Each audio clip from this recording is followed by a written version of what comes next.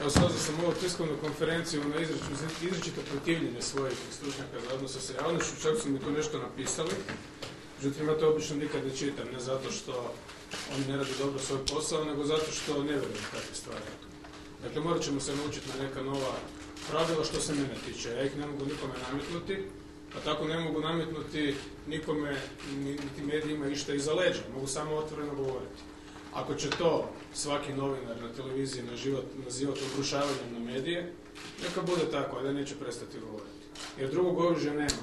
Dakle, nemamo utjecaja na medije, ni na javni mediji. Možemo samo raditi svoj posao i nadati se da će ono što radimo i govorimo ljudi u duhu profesije prenositi objektivno. To je naravno iluzija, to se ne događa i neće se događati, ali to dalje ne znači da neću govoriti. Govorit ću. Idu izbori za Europski parlament. Dakle, motivacijska kampanja HDZ-a već daje svoje prve rezultate. Oni se mjere hemoglobinom.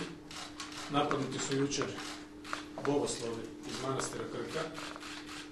Djeca praktički. Napala su ih djeca koja su jučer u dnevniku HTV-a nazvana prigodno politički korektno Janjevci. Citiram, citiram dakle, dnevnik 3 HTV-a. Janjevci su napali Bogoslava. To je riječnik kojim se služi HTV. Ne malodobne osobe hrvatske nacionalnosti, nego Janjevci. Pa što se čudimo onda da se takve stvari događaju? Dva dana prije toga osoba s liste HDZ-a za Europski parlament, Eurofob, koji nas uči kako bi Hrvatska trebala izgledati i tko je gost u Hrvatskoj. Evo, prvi gosti su dobili po leđima i po nosu. Nastavlja svoju, svoju sramotnu odiseju i pred očima hrvatske publike i voditeljice na televiziji optužuje saborskog zastupnika, kolegu Vojislava Stanimirovića da je četnik i da je osobno ljude slao na ovčaru. I nikom ništa. Nikom ništa. To je postalo normalno. To više nikom ne smeta. Niti je voditeljica i urednica reagirala na to. I ne samo to, nego dan kasnije nitko na to trepnuo nije. Jer to je postalo normalno, to je diskusija. Dakle, pozovete osobu koja je učinila nešto tri puta gore nego nogometni prekupac, date joj prostor da govori, ne prekidate je dok širi, dok praktički čini kazneno djelo za koje neće odgovarati i dan kasnije se bavite interpretacijama izjave predsjednika vlade je li bio građanski rat ili nije bio građanski rat. Što je inače tema koju je otvorila jedna druga televizija i samo ona i od toga dan kasnije odustala.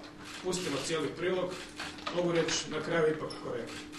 Dakle, nemate svoju priču, vaši novinari to nisu primijetili dan ranije jer nisu imali šta primijetiti i umjesto da se bavite, otvoreno to govorim, ali nemam, nemam drugog načina. Da se bavite jednim skandaloznim ispadom koji ste omogućili, nikom ništa. Pozivaju se eksperti u studiju, bavimo se finskim ratom, Stručnjaci za finski rat iz Špičkovine i Vukovine nam objašnjavaju koliko je bilo mrtvih kao da su ih oni osobno prebrojavali. A stručnjaci za komunikaciju me uspoređuju s Čerčilom. Kaže jedna poslovica ne supra krepidam, dakle postolaru ne dalje od cipela. Imamo jako puno postolara koji, žele biti renesansni slikari, pa daju razno razne savjete. Uspoređuju s Čerčilom Kažu nikada ovoga, neću biti kao Churchill, pa naravno da neću biti kao Churchill. To je potpuno normalno. Prvo, jedan je Churchill, drugo Churchill je ratni lider, Churchill je čovjek koji na vlast nije došao u izborima 40. nego je postao predsjednik vlade dogovor nakon norveške krize. I Churchill je čovjek koji je bio toliko umiljan prema medijima, pročitao je nekoliko fenomenalnih govora na radiju, bio toliko umiljan da je izgubio izbore kao ratni pobjednik 45. godine zato što je govorio isključivo ono što je u ratu mislio i htio reći pa onda da je Margaret Thatcher jela novinarima iz ruke, što je jedna vrlo nehigijenska opaska, također jednog od eksperata koji su se pojavili na televiziji, što samo, ne, samo da je nehigijenski, nego i netočno.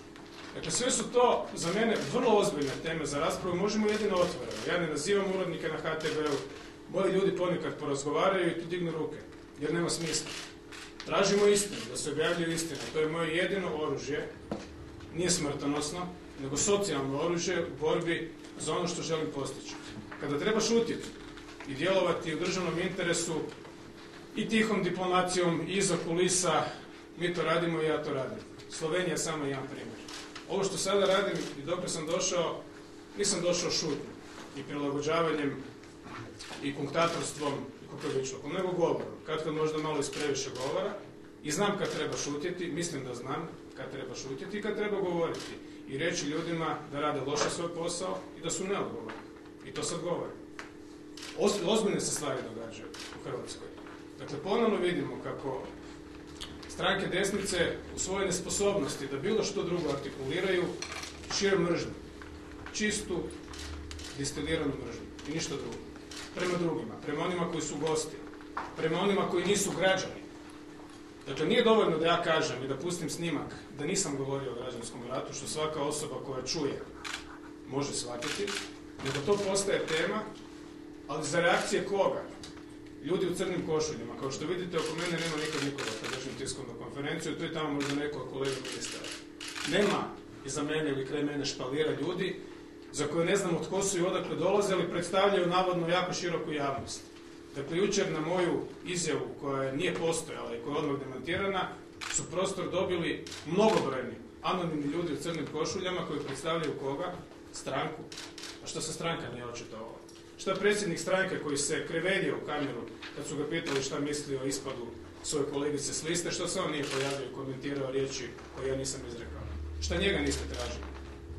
Nego je doveden čovjek koji, čiji zadnji posao je bio glasnogovornik sa sličarnice Zagreb, nekad novi, član jedne stranke. I on nam je objašnjavao ko je Margaret Thatcher i ko je Churchill. I to da SDP nije demokratska stranka.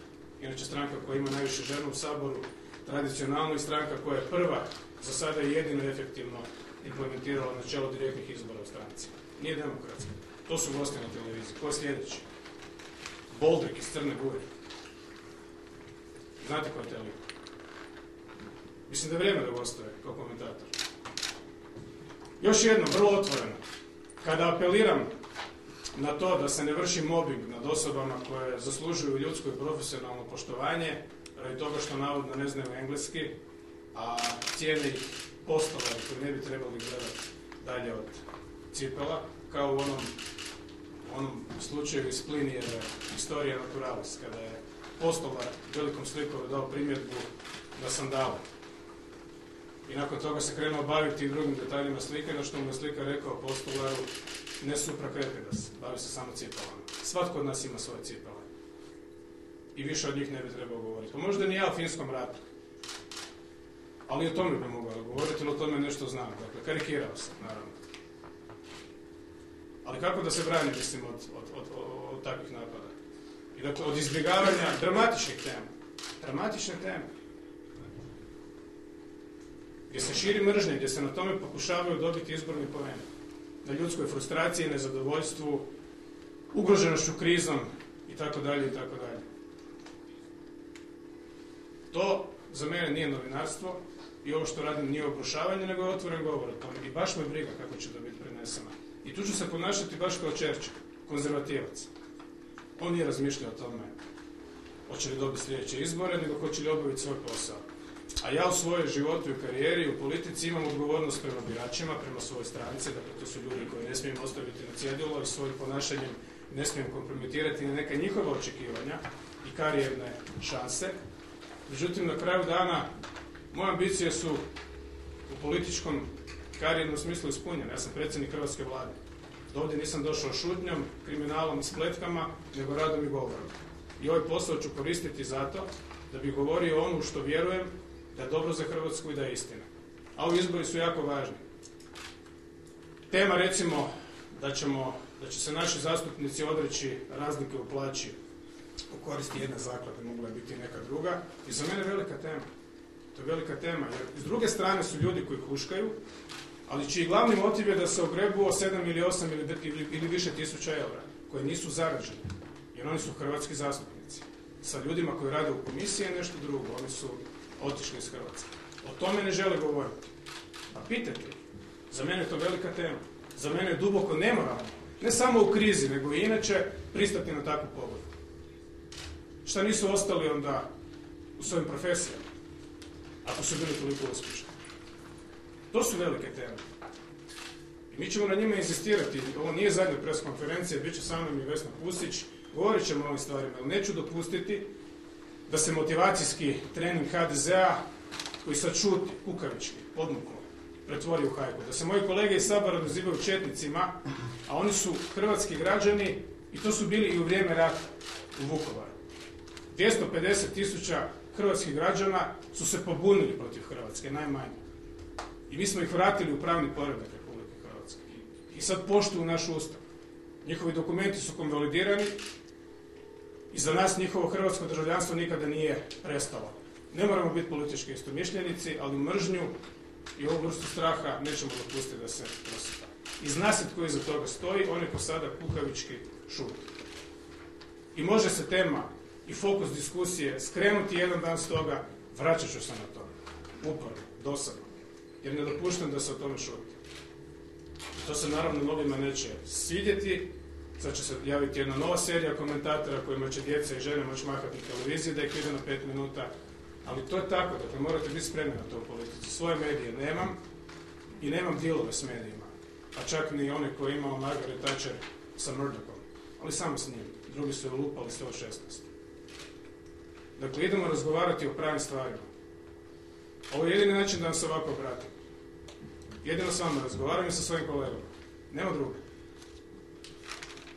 Kad sam govorio o profesoru engleskog, zna se na kog sam mislio, svi ovdje koji ste bili ste shvatili. Međutim, televizija ide dalje. Oni dovode na televiziju ljude koji u stvari ne znam od ko su, ne znam uopće da znaju engleski. Predstavljaju se kao predsjednici neke udruge i onda u krajnje profesionalnoj maniri komentiraju i mene, bez da su građani imali prilike čuti na televiziji koliko sam loš u predstavljanju Hrvatske. Pa dajte im pustite to da mi se smiju. Je to profesionalno pristup novinarstva? Gledajte, kao što vi kritizirate nas, ja ću to raditi na isti način, ali vrlo otvoreno. Sjećate se kad je HTV tužio Damira Kajina radi klevete. Radi klevete ga je tužio, saborskog zastupnika, jer je tužio HTV za korupciju. Po meni mislim, nesmotrena i pretjerana, pretjerana mjera. Jel razmišlja netko o šteti koju mi trpimo kada nam se rečenice doslovno režu? Kada se režu, dakle kad se naše izjave modeliraju, kad se falsificiraju, stvari krivotvaraju i kad se crnokošuljašima dopušta da nakon toga cijeli dan uh, na to neistini. Dakle, s jedne strane imamo osobu koja je jasno govorom mržnje rekla što je imala reći, a rekla je ne Hrvati su gosti i tu nema nikakvih, nikakvih dilema. I nakon toga još dosodila na nacionalnoj televiziji još jednim ružnim dijelom. Optužila čovjeka da je četnik i da je teški ratni zločinac. Nitko na to trepnuo nije. Jučer su dvojica ostali bez nosne hrskavice, hodali su po cesti i provocirali su junačine koji su se vozili u auto. Inače, ta djeca koja su ih napala su isto djeca. Dakle, netko je na njih imao taj utjecaj, te pogani, pat, patogeni utjecaj. A HTV ih naziva janjevcima. Svaka čast. Evo tu ću stati. Izvolite pitanja pitanja, zahvaljujem se na Hvala lijepo.